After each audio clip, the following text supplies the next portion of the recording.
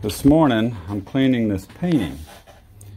It's very old, but as you can see, the old varnish is coming off fairly well. Let me get a, see if I can give you an idea on how this is coming along.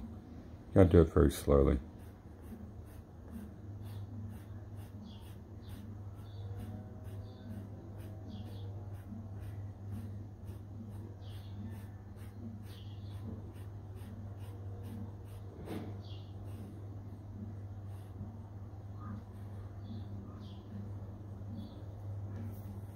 So Q-tips are the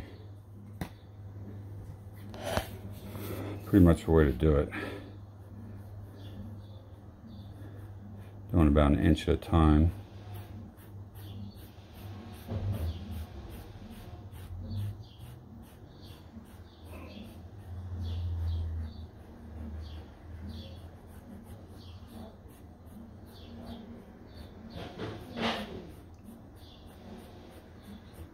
Give you an idea.